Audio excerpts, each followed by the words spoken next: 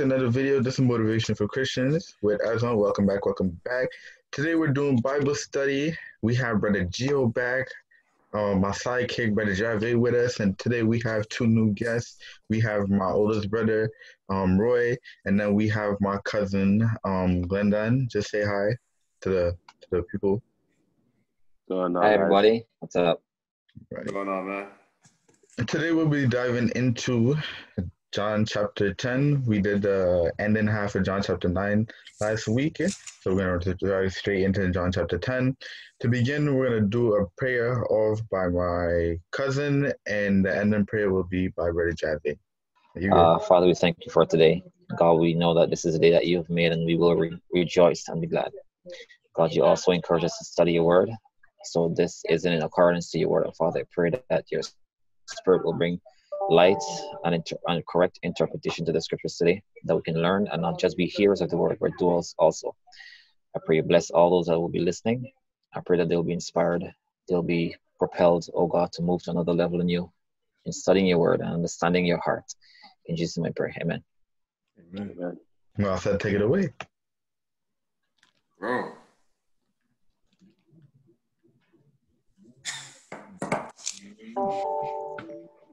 We'll talk after. All right, John yeah, yeah, yeah. Gotta lay some ground rules, brother. Yeah, man, cool. You All right, John me, chapter that's when the 10. A good shepherd and his sheep. Verily, verily, I say unto you, he that entereth not by the door into the sheepfold, but climbeth up some other way, the same is a thief and a robber. But he that entereth in by the door is the shepherd of the sheep. To him the porter openeth, and the sheep hear his voice. And he calleth his own sheep by name, and leadeth them out. And when he putteth forth his own sheep, he goeth before them, and he, the sheep follow him, for they know his voice. And the stranger will they not follow, but will flee from him, for they know not the voice of strangers. Um, so, as just just start us off, start off our conversation. These first five verses, talking about sheep and shepherd. What, what's going on right here?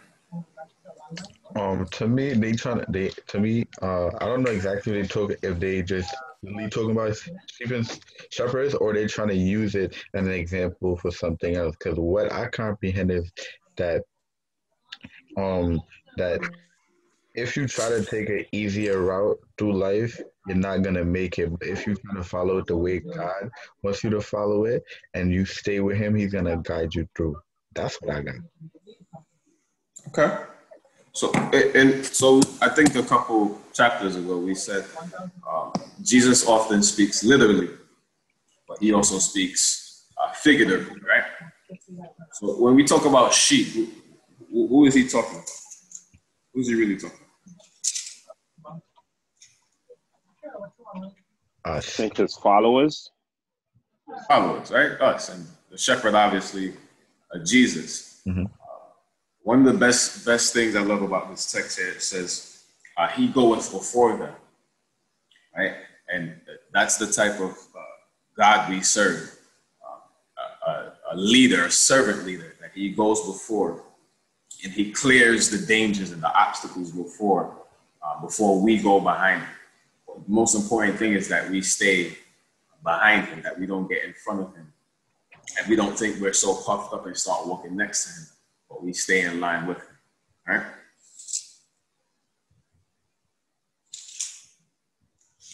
I think a couple weeks ago, uh, as you asked us, um, what's a servant leader?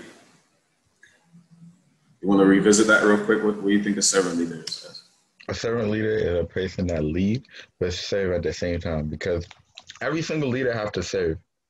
Um, especially with spiritual leaders because um you're like a perfect example, a pastor. A pastor lead a congregation, but he's also serving God at the same time. Like he can't just he can't do one role. You have to you gotta do both. Right. Okay. Good. And it's not just about serving God. It, serving God doesn't make you a servant leader per se, right? Um, but it's your type. It's how you lead who God has entrusted you with. Right? servant leader is one that leads by example, ones that put the cares of his sheep for himself, right? One that goes out of his way to make sure, as you're good, Gio, you're good. Uh, I'm good. I'm before himself. Cool. G, anything else you want to say about those first, first five verses, or you good? Uh, yeah. Um, verse three says, "To him the porter openeth, and the sheep hear his voice, and he calls his own sheep by name and leadeth them out." Literally, man, what happens in the Bible is what happens on earth. Like, it's not by chance that God said, "When the shepherd calls, the sheep hear his voice and they come." So you saw how people were trying to attempt to call the sheep of the shepherd and the sheep was minding their business, still eating grass. But when they heard that call, you see their head look up, the air start perking, and they start making their way towards the shepherd. And that's exactly what Jesus is saying. Right? So my question to everybody here is whose voice whose voice are you listening to? Whose voice are you allowing to guide you day in and day out? Is it the voice of your flesh? Is it the voice of your enemy? uh, the enemies? Is it the voice of, you know, unwise and foolish friends that give you bad advice? Um, or is it the voice of the shepherd, Jesus? Exactly. I think um, just to piggyback off that, long time ago when I first read this text, um, it's a really long time ago when I first started preaching. Um, there are four voices that we always have to contend with our voice, the voice of others, the devil's voice, and God's voice. Four voices we, we constantly in our head have to try to decipher. Who is it that's really speaking? Right? And I think this text, even right here, speaks to the importance of relationship. Right? The more you know God, the more you spend time with God, the more sensitive to that voice you become. Right? And the example that I use is as Esron, if you if you have a party, right, a crowd of people, hundred of people, but um, Glendon calls your name, you have a relationship with him, so you're used to that sound, right? So even no matter how loud it is, because you have that relationship with your cousin or even your brother, uh, you're gonna recognize who's calling, right? Or the same is for your mom, right? No matter how much noise it is, no matter what's going on, right? You're going to recognize that voice because you have a relationship with your voice. And so the same in this text. Um, the more we cultivate and we build our relationship with Christ, the more responsive, the more alert we become when he speaks, because we know he often speaks, as they say, in a still small voice, right? And so this this is why relationship becomes important. And as we saw in the video, the sheep they have a relationship with the shepherd, right? That's who they're with day in day out. That's who they spend their time with. Because of that, when he calls, they respond because they know his voice, right? So that's my just my little tidbit. Anyone anyone else want to add anything before we continue? I was gonna say I listen to the voice of myself and God because I have um particular particular stuff that I need to do each and every single day, and sometimes I'll be lazy on it, so I gotta keep telling myself, no, do this, do that, and then through the day, God always put His input in pretty much anything I do, so I make sure that I'm listening to Him also. Yeah, now you have to. I, it, it becomes tricky sometimes with with your voice and God's voice. Reason being, let's say you're doing something you want to do, right?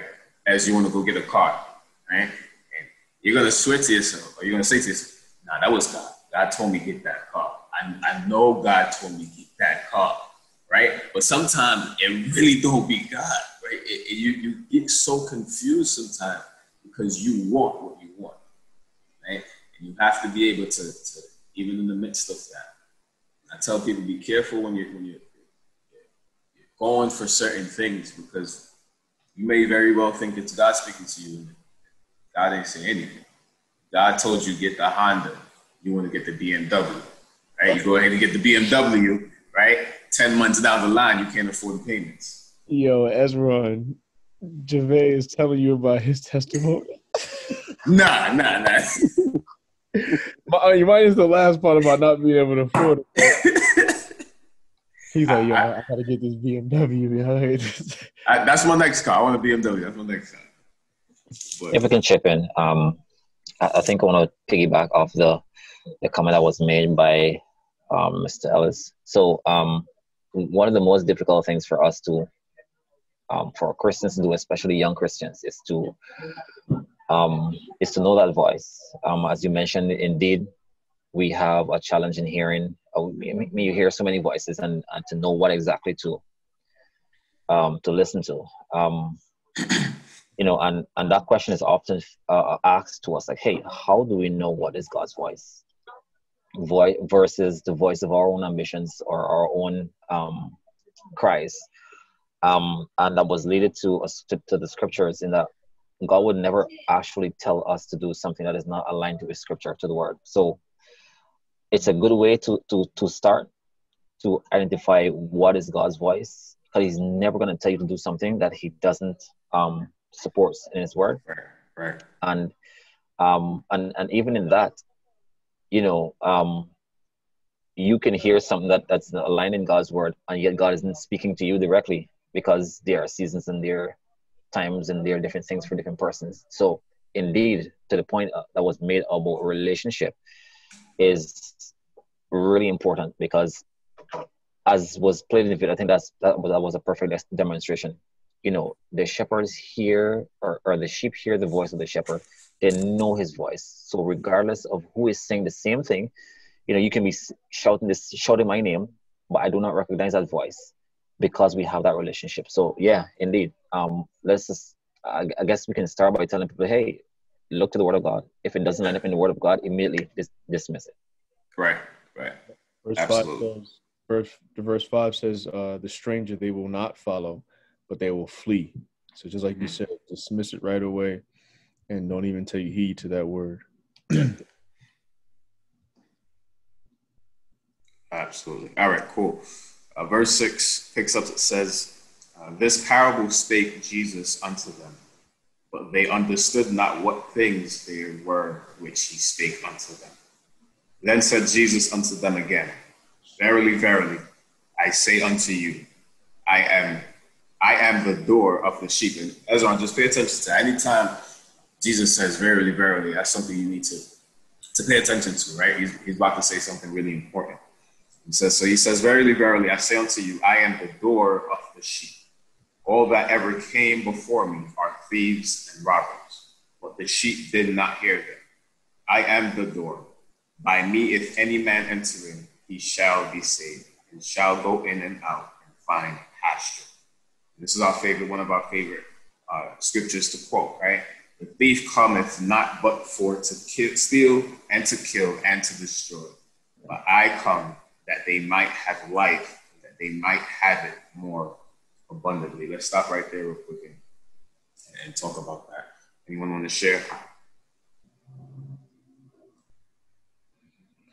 So I think what um, the last few verses are saying is just being able to understand um, the difference between the leader and almost the wannabe leader. Um, and the true leader cares in terms of like your well-being and making sure that going forward you have everything that you need. And the wannabe leader, who's kind of compared to the thief, um, they just want to take what they what you have um, and kind of use you and then go about their business and just leave you empty. Right. Love that. Well, what what I gather from this is just what is the loud, um, or loudest in this particular paragraph or this scriptures that we read is beware of deception, um, because it, it's it's it's a reality.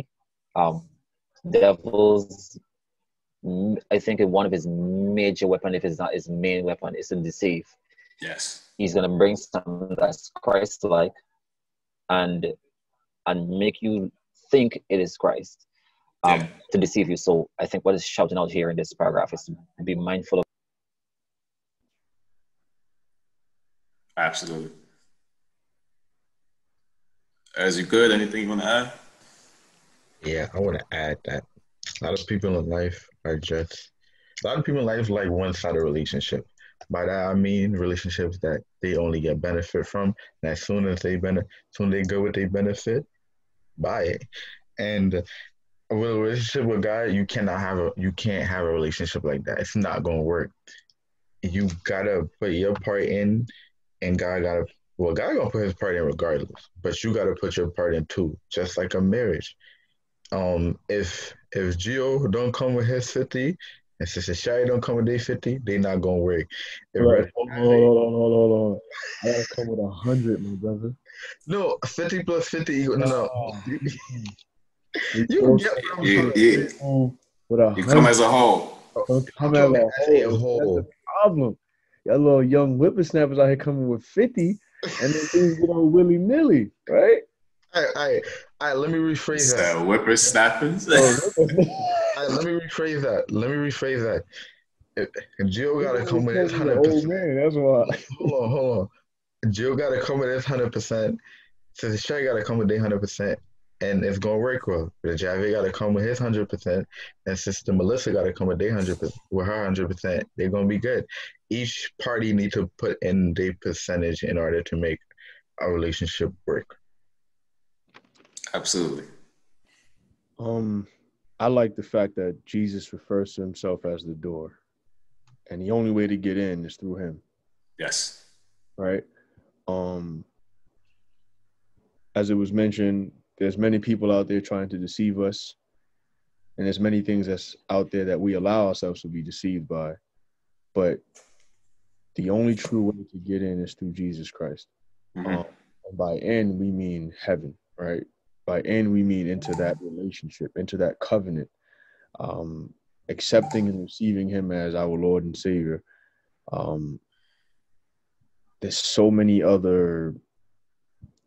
Uh, so, uh, from a principle stance, right? I think that he was addressing um, the law, the law that they were following, like the Mosaic law, like that turned into like 600 something plus laws, right?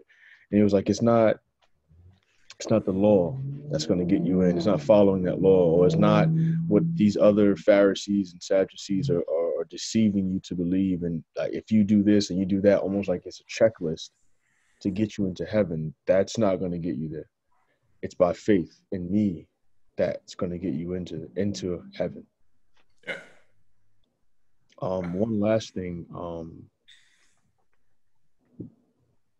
so people who believe in other gods, I think this verse, verse nine, also speaks out in terms of Jesus being the door. Right? People feel like all these other gods are are, are going to get them into heaven, or if you go sacrifice and kill yourself, you know, you're going to be in heaven with a thousand virgins or something like that. It's just there's all types of different beliefs out there. The really one and only true God is Jesus. And the only way to get into heaven with with with him is through him.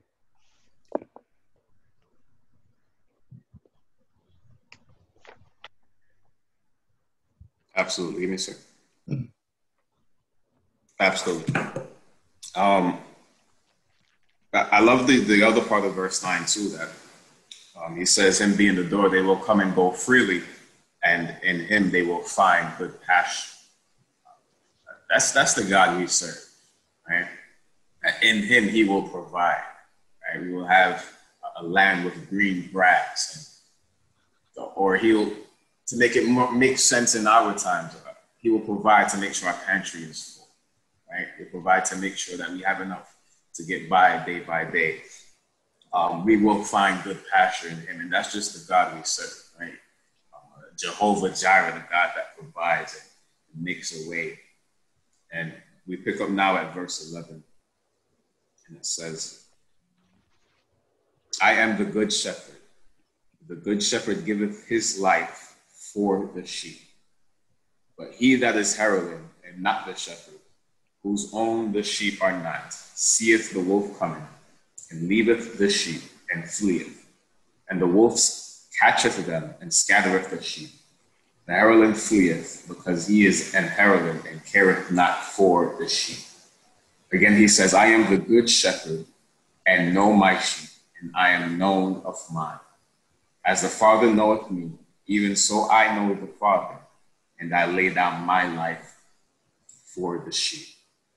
A lot was said just now. Yeah. But again, we, we, we look at the character and the, and the nature of and, and how he is defined as a good shepherd. Uh, he is so good that he would lay down his life for his sheep. Um, the song says, and this not in, in the context, it just came to me, um, that he would leave the 99 and, and, go after the one, right? That just speaks to the nature and the character of, of, of Jesus, God being the good shepherd, right? That even though there's one all the way over there lost, can't find their way, caught up in, in what's going on in the world, he will leave, he will leave us, you and I, and go after the one. He's a good shepherd, right? I mean, and we've seen uh, so many examples in our lives, right, of him being a good shepherd. I, I, can look at one right now. I was able to pay my rent two days ago. I was able to pay my bill yesterday. Um, he's a good shepherd, right? He provides, he makes a way, he opens doors, he closes doors. That's a blessing as well, closing doors, right? Uh, that's a good shepherd, good shepherd. And it says, he giveth his life for his sheep. What did he do ultimately? He went on that cross and he paid the consequence of sin for you and I. Right? That's a good sheep. What more? I, am just stuck on that verse 11. He is the good sheep. Go ahead, What more do you want from me? uh, uh, the the first the first part which you were which you had remind me of John three sixteen and seventeen, and one thing that pointed out to me uh, is the part where he mentioned that if he see a wolf come in, he won't depart from his sheep, but stay there to make sure that the wolf don't attack them. Mm-hmm. God, God and Jesus different. They different, and I'm gonna also relate this to uh, life too you have people that will see you in trouble and be there for you, and then you got them others that will see you need help and act like they don't see it. But thank God that God and Jesus is so merciful and so amazing that they they never leave us. The Bible said that He will never leave us nor forsake us, and I'm just really thankful for that. That's that's my part. Hey Ezra, I, I, like, what do you mean by God and Jesus are are, are, two different people? Kind of got me there. No, I didn't. I didn't say there was two different people. I know. I know they're same as one body, but I was just. I was just. Oh, like, got it, man. I got you, man. Like they're on a whole different level. Like the fact that they would sacrifice their lives for us. Yeah. What you mean? It's that, that young terminology. Yeah, yeah. You gotta you gotta get a dictionary, bro it's hard to keep up. that urban, that urban talk, man. um, I, I, like the relationship aspect. Fourteen, he says, um, "I am the good shepherd, and know my sheep, and I and am known and am known of mine." God knows us, and we know God, and that relationship uh, because we have that relationship, it comes with those benefits of being protected by the shepherd. It comes with those relationships. It comes with what comes with the relationship is being protected, um, being provided for, being covered, right? Um, and like like Jay said, that song when you you leave, he leaves the ninety nine to go after the one. So in any event, I find myself lost in a dark place, not knowing if I'm coming or going, all I have to do is look up. Just look up. Yeah. And know exactly where my help is coming from. Know exactly what's going, who's going to come after me and bring me back inside the gate. I don't know if you saw the sheep in the gate, but they, there was a gate around them. And they were in green pastures, just minding their business. They didn't have a, a care at yeah. all in the world. They heard that they heard the shepherd come over. Oh, oh, oh, okay. What's up? Everything good? All right, and then he turned around and just kind of left, went, went back to their business, and, and and that's what it has to be like. Yeah. Love it. And I heard this, I think last night, uh, Gio from Uncle Jake's. Um, it's not just us knowing God, us having a relationship with Him, but it's also Him knowing us, right? And uh, we give Him, giving Him access to know us. Not that He He knows everything, but I'm, I'm saying really getting to know us. Um, the Scripture says. Um, I, can't remember the beginning of him, but he said, "Depart from me.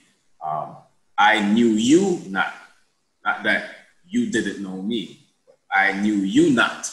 Right, and so it's it's it's important that God knows us. He knows our struggles. He knows what we're going through, and that's the type of shepherd um, he is. And just speaking to the nature and the character of, God, and He cares? He cares when we're going through. He cares when things are rough. He cares in the good times and he cares in the bad times. That's the type of shepherd we have, right? And speaking to the, the, the context of the scripture, um, my study Bible was saying um, back in those days you had uh, communal flocks, uh, meaning that um, the flock was owned by several people. And it, it's saying pretty much they were hired hands, meaning that they were there for the money, they were there for a paycheck. And it says anytime um, that predators or wolves attack, uh, they would flee because they were hired. Um, but thank God we have a good shepherd that's committed, right? That he is, he's not in this for, for money. He's not in this um, for any monetary benefit. But he's committed to us no matter what's going on That's good. um, no matter what's happening, he's committed to us. And there, there is not much, I would think, any any history or, or Greek to dive into and really unpack. This is this is really just Basically, we can stay on the surface and, and get so much from it. For me, it's that he's a good shepherd. That's, that could be a whole message right there. I might change my topic for tomorrow. Like, he's a good shepherd good shepherd, right? Um, and so let that be an encouragement, not just to the people that will listen, but for us this morning. And anytime we, we start to worry, we start to look around and we don't uh, see, understand what's going on, know that God is committed. He is still a good shepherd. All right? We pick up at 16, and it says, And the other sheep I have, which are not of this fold, them also I must bring, and they shall hear my voice, and there shall be one fold and one shepherd. Mm. Therefore doth my Father love me, because I laid down my life, that I might take it again. No man taketh it from me, but I lay it down for my of myself. I have power to lay it down, and I have power to take it again. This commandment I have received of my Father. And that, that finishes that portion of, of Jesus speaking. And there it touches at 16, I believe. Um, as we spoke about it earlier, he, him leaving the 99 and going after the one. It's the same thing it, it said in 16. And those that are not of this fold, uh, them also I must bring. So those that aren't yet saved, um, he's going after, them, right? He's impressing on their heart their need for him, right? He's looking there to change and transform their lives. Um, anyone want to chip in and add to that?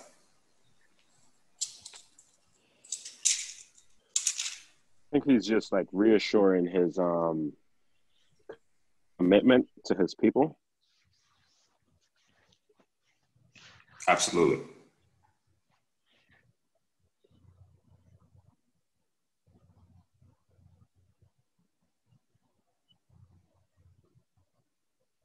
So you good? Look at you about to say something crazy. Yeah, no, I just like it's just like you you read the entire Old Testament and how aggressive God was in regards to going after his people. And like imagine if there was no New Testament. What would we be talking about right now? Imagine if he didn't lay down and take it back up again. Imagine if he didn't open up the door to allow us an opportunity to get in. What would we be talking about? It's just, and pe- people get so caught up like, oh, the Jewish people this, the Jewish people that.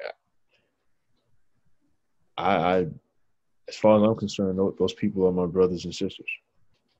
As long as they accept Christ, right? Um, I'm just, I'm just like utterly grateful for the grace of God, for the New Testament, for the blood, for the cross, and and this this is definitely a reassuring thing. It's it's the Good Shepherd. Like the, I, you can't find characteristics like this on earth. Yeah. Absolutely.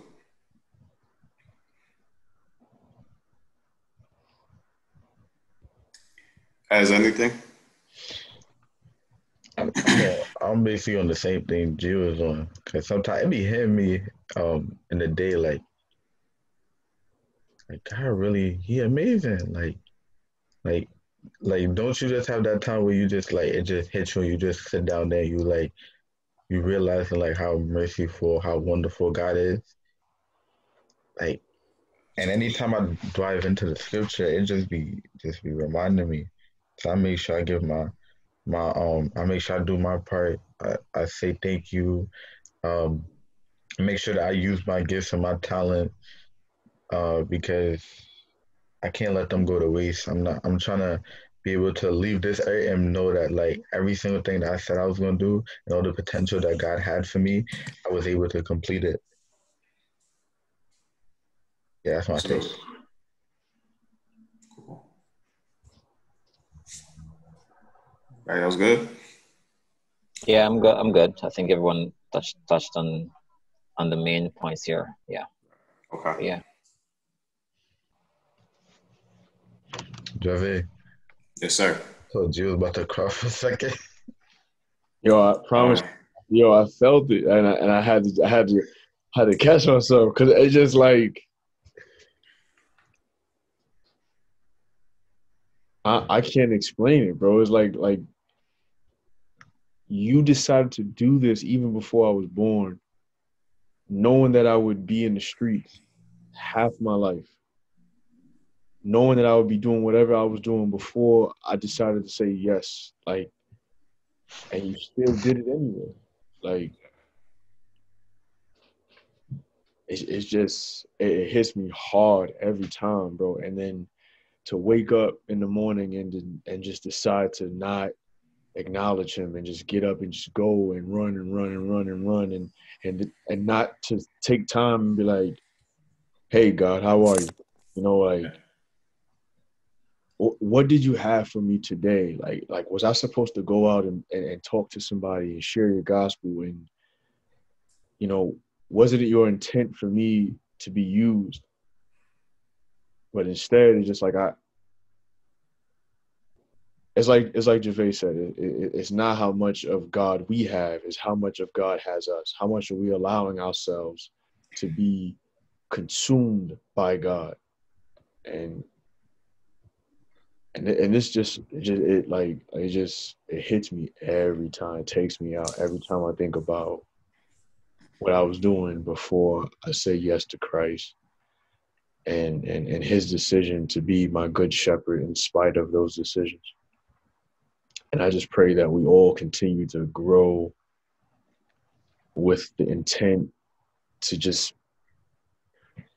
just become more and more intimate with Christ right? So that that voice is no more that small, still voice, but in fact, it's actually a loud, audible voice that we hear each and every step of the way because we acknowledge Him in all of our ways and allow Him to direct our paths. It's just like I, I want to be able to speak to Him on the top of Mount Sinai. I want to be able to speak to him through the burning bush. I want to be able to speak to him and, and, and get visions and dreams and and just have that one-on-one conversation. I want to come out of a, an encounter with him with a broken hip bone, and I, now I'm walking with a limp. I want my face to shine. I want to look different. I want people to see the glory of God flowing through me and out of me, and so that they have no other choice but to ask me, "Why do you look so? Like, why do you look the way you look?" And all I have to say is Jesus. Yeah. And just that alone would cause them to say, I want to serve that same God because I want that same experience. I'm tired of living life on my own by myself, trying to figure out my my way by myself.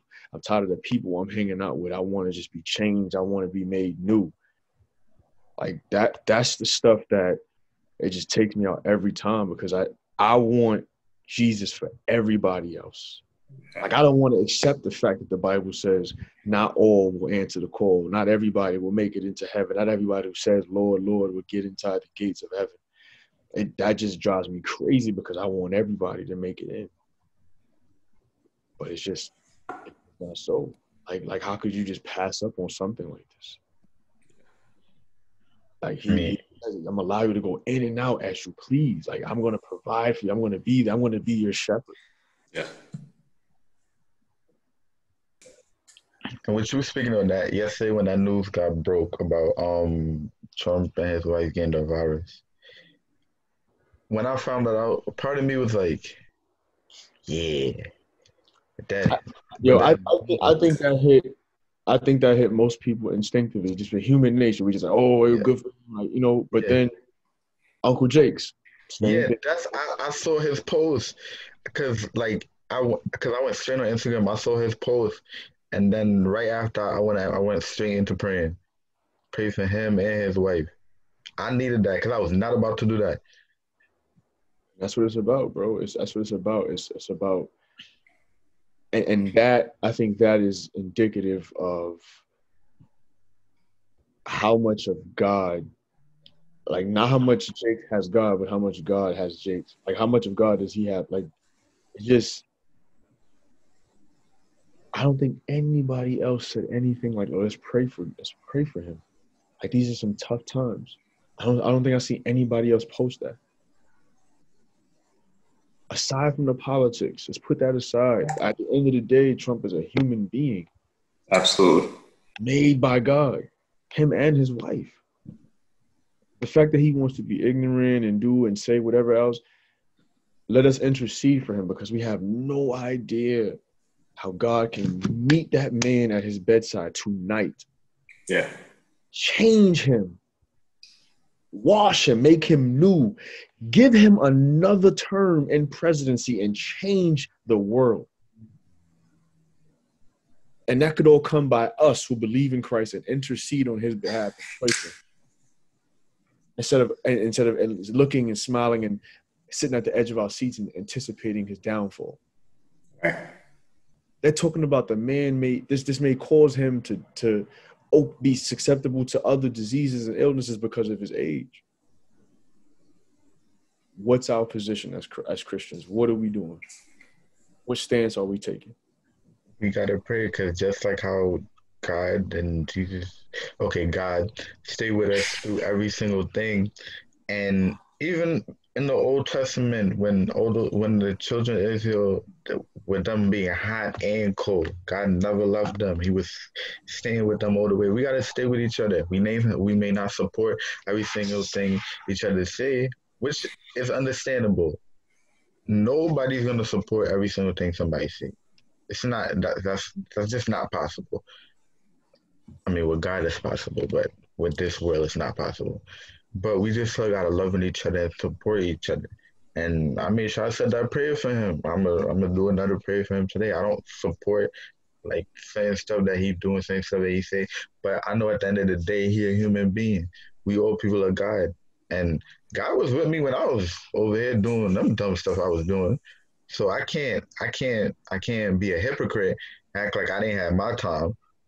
And that's, a, I feel like a lot of people be doing that. Like we all had our time. You can't be a hypocrite because everybody had their time where they was wilding out doing some of the most stupidity stuff that you ever done in your life. But now when you good and you see somebody else doing that, it's not a time to like um glorify what they doing. It's time to understand like, you know what, I went I went through a similar situation. Let me pray for that person. If I could talk to them, help them. Absolutely. Um, just to, to to bring that back to the the text, um, 16, he says, And the other sheep I have, which are not of this fold, them also I must bring. So uh, we got to put aside the politics, right? And that, that's another sheep that we should be praying to be in our fold, right? And I'm going to leave that there. But we have to always constantly check the posture of our heart, right? Everybody needs praise, and he needs our praise as well. And Gio, I know you're, you're, you're long past this, but man, I was going to add it for you. Every time I think about the goodness of Jesus, Hey, hallelujah, and all that he's done come on, come on, preacher. my soul. Come on, preacher. Yo, they do that, the whole church erupt. You already know, man. And we could check with other things after. Um, 19, it says, There was a division, therefore, again among the Jews for these sayings. And many of them said, He hath a devil and is and is mad. Why hear ye him? Others said, there, These are not the words of him that hath a devil. Can the devil open the eyes of the blind? And just the, the ending verses, we just see um, a division, right? Some believe, some don't believe. The Pharisees, again, are, are condemning what he's saying. Uh, is he God? Is he this? Is he that? Other people are saying, can the devil open the eyes of a blind man? You've seen him do so much, so many miracles in the past couple chapters, yet you still don't believe he is the Messiah. Right? Why are you still doubting? So that, that's where it ends. It ends uh, with, with them doubting Jews, Pharisees, questioning is he who he says he is? Is he a devil? Right? Um, and that's where we end today um, with our study. And the 19 through 21, there, if anyone else want to add anything else, so there wasn't really much, too much there. And if any anyone else want to add to it, you can go ahead. They doing the same thing they did in the earlier Johns. I just think that it's, it's the position of their heart. What Yeah. condition they're.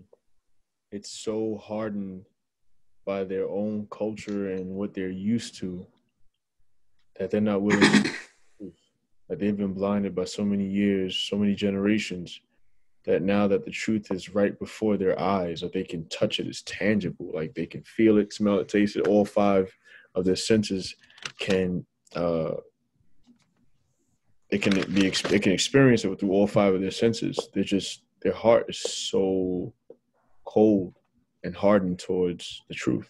Mhm.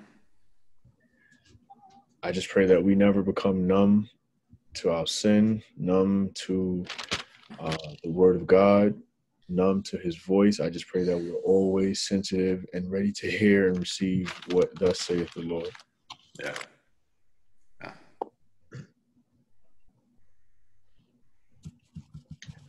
Like that's everybody two and two. Uh, Jeffrey, you doing that in the prayer, then I'll do my close out. Are you done? You have nothing else? Mm-mm. Okay. All right, cool. Uh, for anyone else that, that's listening, whenever you guys watch this video, Today, from from from me, I, I just want to encourage you and let you know that uh, God is a good shepherd. He will take care. His, his word says all your needs will be supplied according to His riches and glory. And serving God is not necessarily necessarily about uh, His hand.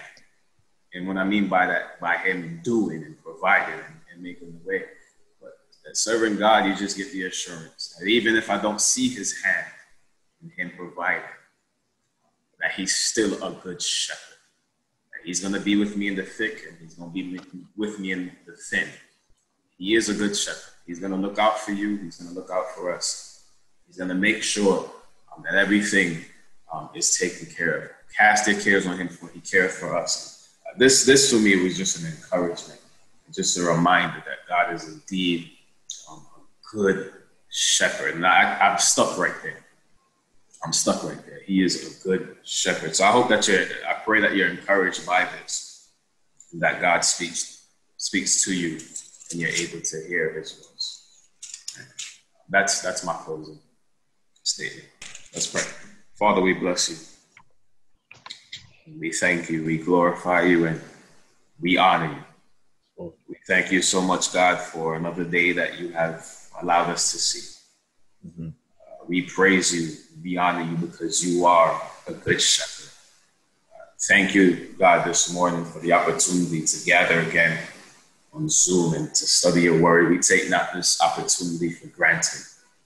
We thank you, God, so much for our brothers joining us, oh God, Glendon and Royden. Uh, we pray, God, that you will continue to bless Esron and bless his channel and bless uh, this ministry that you have given.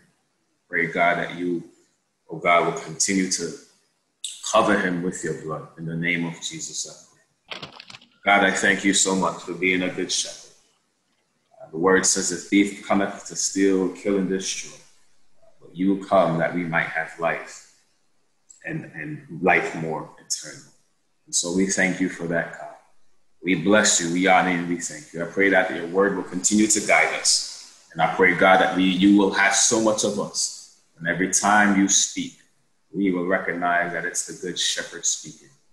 Have your way in our lives, I pray, in Jesus' name. Amen, amen, amen. Amen. And this is for the video we was able to wrap up another Bible study. This is so powerful. Just come together as brothers each and every week to just discuss God's word. Thank you so much to my brother and my cousin for coming along this journey with us. And don't forget to like the video, share, um, subscribe if you're new, and turn on your post notification. This is Motivation for Christians with. I'm out.